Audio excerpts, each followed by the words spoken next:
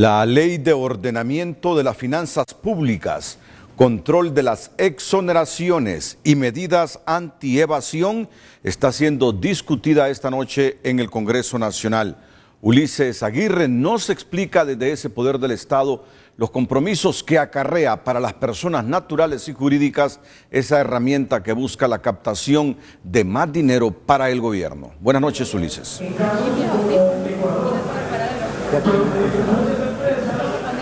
Buenas noches, Ulises.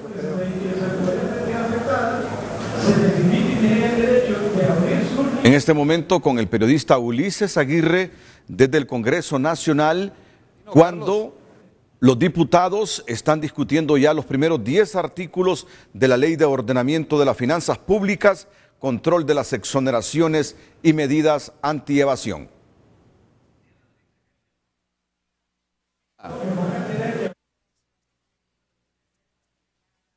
Bien, vamos a esperar unos segunditos.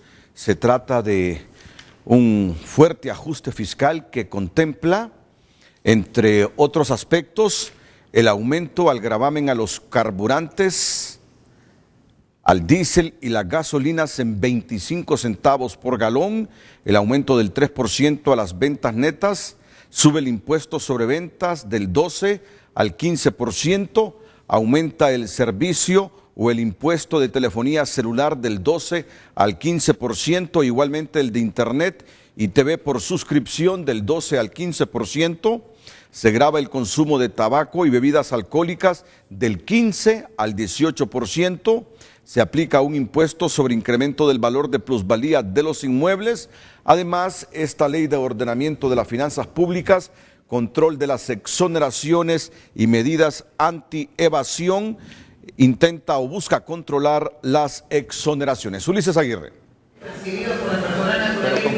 Bueno, gracias Renato. En efecto, bueno, nos estamos armando aquí en el Congreso Nacional y bueno, estamos en vivo a esta hora de la noche cuando ya se ha presentado precisamente este proyecto de decreto y justamente en este momento se está discutiendo la ley de ordenamiento de las finanzas públicas, control de las exoneraciones y medidas anti-evasión. Aquí hemos hecho algunos apuntes, pero el diputado liberal que ha tenido, y es de los que tiene mayor participación en esta discusión, nos puede decir, bueno, qué tiene y qué trae este, eh, estas medidas fiscales que se están discutiendo en este momento en el Congreso Nacional.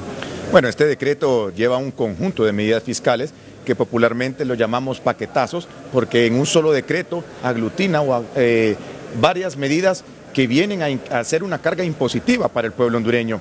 Dentro de ellas podemos hablar de los artículos que a mi criterio y al criterio de nuestros compañeros son los más lesivos por ser impuestos completamente invasivos y que van a generar una escalada de precios en la economía nacional. Y es que están pasando el impuesto sobre venta de 12 a 15%.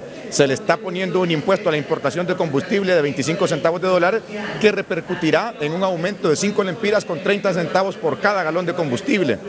Y además de eso, pues eh, hay un impuesto a las telecomunicaciones, a la llamada de, de teléfono celular, al internet también y al cable, sabiendo que estamos en la era de las comunicaciones, eso no es un lujo, es una necesidad. Por eso es que nosotros creemos que este decreto es lesivo a la economía nacional y por esa razón no lo estamos acompañando. Bueno, y lo que ha dicho el diputado Odomán Aguilar coincide justamente con las anotaciones que tenemos, solo para reiterar, el impuesto del sobreventas que va del 12 al 15% y en el caso de las bebidas y los cigarrillos es del 15 al 18%. En el combustible el 0.25 de dólar que equivale a unos 5 y 6 lempiras en el caso de las gasolinas y el diésel. En el tema de la telefonía móvil, pues también un incremento del 12 al 15% del impuesto sobre ventas, también la televisión por suscripción, el internet en todos sus niveles. Así es que aquí está planteado prácticamente este documento que se discute en, el Congreso Nacional. El diputado nacionalista Rodimiro Mejía, bueno, ¿qué decir frente a algunas quejas y reclamos y cuestionamientos que se han dado? ¿Cómo defienden ustedes estas medidas fiscales que han llegado aquí al Congreso Nacional? La situación financiera del Estado es sumamente difícil y el momento histórico que vive el país amerita de medidas eh, que no son fáciles que el pueblo hondureño las pueda asimilar, pero que cuando eh, se gobierna hay que tomar enormes decisiones y sabemos perfectamente bien y no deja de tenerse en cuenta. Pero quiero aclarar ahorita, que el impuesto sobre venta de 12 a 15% es en la telefonía, no es en los otros sectores. Hay que leer perfectamente bien y hay que tener mucho cuidado en lo que hay. Si compartimos el aumento de los precios de los combustibles. Sabemos que los combustibles es un elemento que forma parte de los, de los factores de los costos de, de producción, va a aumentar, eso estamos sumamente conscientes, pero hay que sanear las finanzas del Estado para que con esto dar beneficio a 810 familias y ser, tener accesibilidad a condiciones de préstamo internacional para poder salir de esta situación calamitosa en que nos estamos encontrando. Y esta medida nos va a traer como disminución de 7% de déficit fiscal a un 5%. Entonces, eh, nosotros sabemos que no es fácil, pero hay que tomar medidas que vengan a satisfacer al pueblo hondureño. No es fácil para un partido de gobierno que confió y le dio un mandato de nuevo al Partido Nacional. Nosotros entendemos la posición del Partido Liberal, porque no es lo mismo estar en el gobierno que estar en la llanura y ellos tienen que dar una expectativa de favor al pueblo hondureño. No es que nosotros estamos en contra del pueblo hondureño, sino que tenemos que actuar con, actuar con suma responsabilidad y el momento, este momento, el, eh, Honduras necesita que se tome en serio la situación de las finanzas públicas. Bueno, ese es eh, parte de los criterios que se han adquirido aquí en la Cámara Legislativa. El mismo ministro de Finanzas ha dicho que este dinero se ocupa para financiar los proyectos sociales, que es un compromiso de campaña del partido de gobierno pero qué decir de este impuesto sobre la sobre ventas. En el artículo 13 pareciera quedar consignado, no tácitamente se dice, pero sí entra de alguna forma este impuesto sobre la venta. ¿Está comprendido para todo el volumen de ventas en el mercado nacional? Lo que entendemos nosotros y se nos explicó por parte del secretario de finanzas es que es un aumento del 3%, por lo tanto el pueblo hondureño estaría pasando de pagar de 12 a 15% en el impuesto sobre venta. Nosotros estamos conscientes de que, hay tomar, de que hay que tomar medidas, de que tenemos que sanear las finanzas del Estado, pero no podemos sanear las finanzas del Estado ahorcando más al pueblo hondureño. Según las declaraciones del ministro de Finanzas, este conjunto de paquetazos, estas medidas fiscales que vendrán en una escala de precios, van a recaudar 16 mil millones de lempiras y el Estado de Honduras está perdiendo por corrupción 51 mil millones de lempiras anuales. O sea, la medida que yo quiero que tome el gobierno es que combata la corrupción.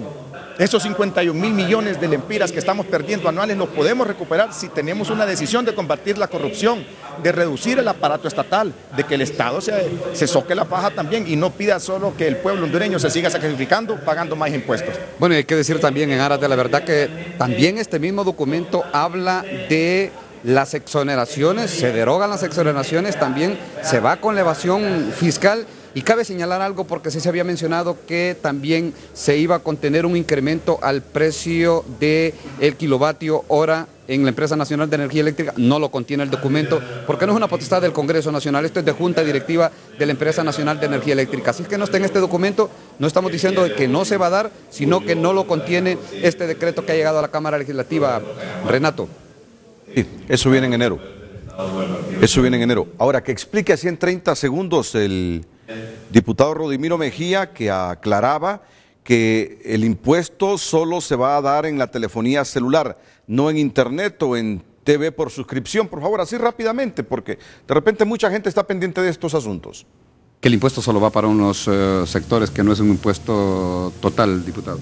No, definitivamente pues que van a haber unos que van orientados a unos sectores, pero tampoco también debemos de ser responsables nosotros que el impuesto al combustible va a afectar a todos los sectores. En eso no vamos a engañar al pueblo hondureño. Eh, cuando hablaba usted bien señalaba que la parte de las exoneraciones pues viene a dar, eh, a incrementar las recaudaciones del Estado. Y cuidado con esto, los maestros están exentos por la Constitución de la República y no se toca a los maestros en este sentido.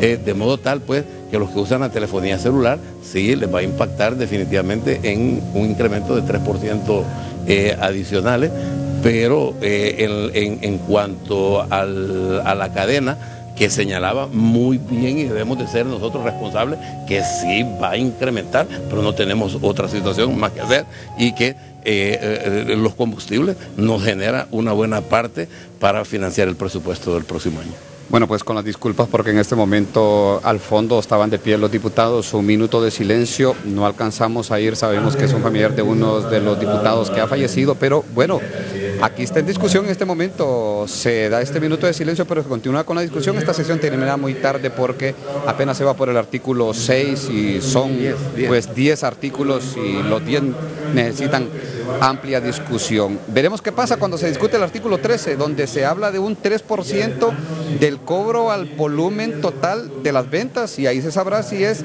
el incremento del 12 al 15% del impuesto sobre ventas, eh, Renato. Eh, quiero insistir en esto, por favor, en 30 segundos. Es que aclaraba a Rodimiro Mejía que el impuesto, el incremento del 12 a 15% en el caso de la telefonía celular no abarca internet y TV por cable. ¿Es, ¿Es eso lo que quiere decir Rodimiro Mejía? Que el incremento del 15% no, no abarca a lo que tiene que ver al Internet y a la suscripción de televisión, ¿es así?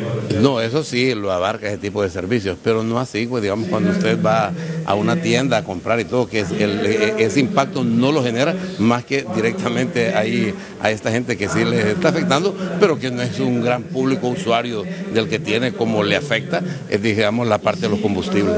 No, aquí está claro en el documento y es el artículo 13 justamente justamente el que sigue, el artículo 14, perdón, el que está hablando de que el incremento del 15% va para el Internet, para la televisión por suscripción y también para la telefonía móvil, Renato. Eso, eso está claro.